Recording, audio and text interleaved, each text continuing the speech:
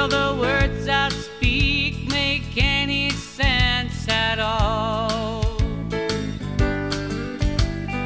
You've been telling me that I don't love you, and you've convinced yourself that there's someone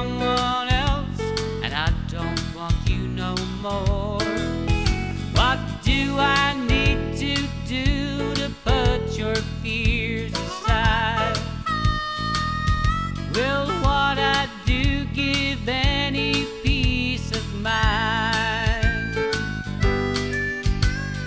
You ain't got no trust in my affection, and you're asking